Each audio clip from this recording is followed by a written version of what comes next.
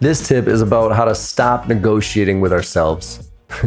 we negotiate with ourselves all the time, specifically when it comes to price. Sometimes we're uncomfortable with price because we know, you know, we've been beat up and we're not the cheapest solution. We're a value play here and people are always asking us for discounts. Fine.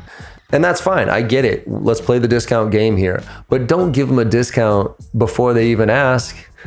I've been an offender of this multiple times in my career where it gets to a certain dollar figure and I'm like, man, that's a that's a really big number here. So let me let me throw, you know, a, a 10% discount in my original proposal just to show my care, right?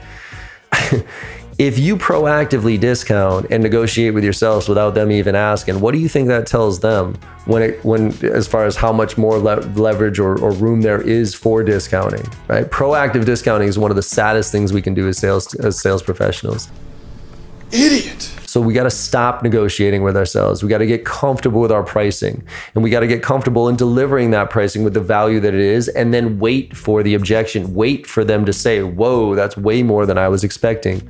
But stop negotiating with yourselves, okay? Have confidence.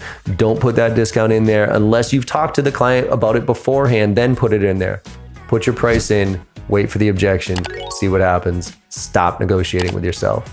Make it happen.